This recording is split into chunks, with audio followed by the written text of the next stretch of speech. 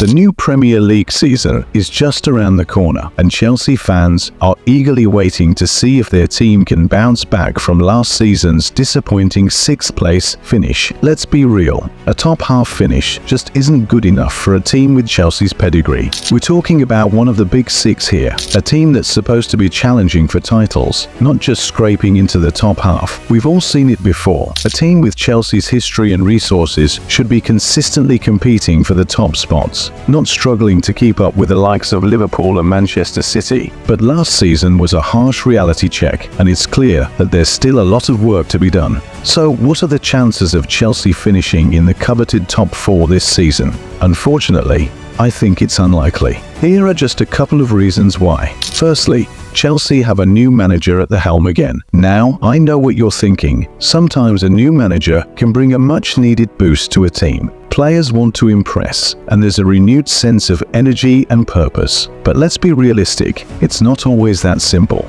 Especially when you've got a young squad like Chelsea's, it takes time for a new manager to implement their ideas and get the team firing on all cylinders. And if pre-season is anything to go by, it's clear that Enzo Maresca still has a lot of work to do. One win against Club America doesn't exactly inspire confidence, especially when you consider they lost to Celtic and Manchester City and drew with Wrexham and Inter Milan. Those results might not mean much in the grand scheme of things, but they do suggest that Chelsea are still a work in progress. Secondly, there's the issue of experience, or lack thereof. With Raheem Sterling aside, Chelsea's squad is looking pretty green. Now, I'm not saying these young players aren't talented, they absolutely are, but talent only gets you so far in the Premier League. You need experience, grit and determination to succeed. And with Thiago Silva gone and Reece James spending more time on the treatment table than on the pitch, it's hard to see where that leadership is going to come from. Chelsea's struggles don't end with their inexperienced squad and new manager.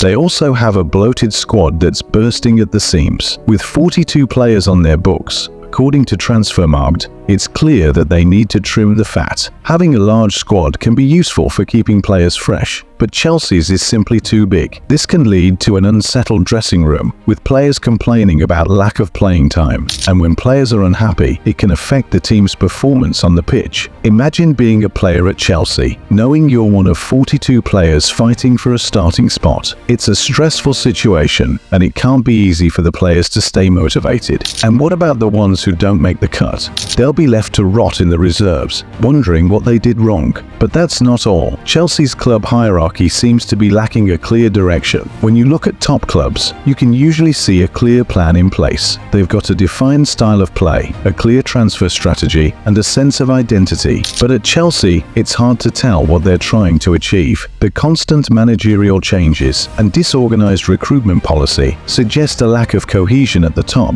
Without a clear footballing philosophy and identity, it's hard to see how Chelsea can achieve success in the Premier League. They're like a ship without a rudder, drifting aimlessly through the season. And when you're competing against clubs who know exactly what they're doing, it's a recipe for disaster. Lastly, let's not forget, other clubs are improving too. Arsenal, City, Liverpool, Tottenham, and Manchester United are all gunning for the top spots. Even wildcards like Aston Villa and West Ham can't be ignored. These clubs have a clear direction, solid squads, and a sense of identity. They're not going to make it easy for Chelsea to break into the top four. In fact, it's hard to see how Chelsea can compete with these clubs when they're still trying to figure out their own identity. Until they get their house in order, it's unlikely they'll be able to mount a serious challenge for the top four. The competition is just too fierce, and Chelsea are still too disjointed.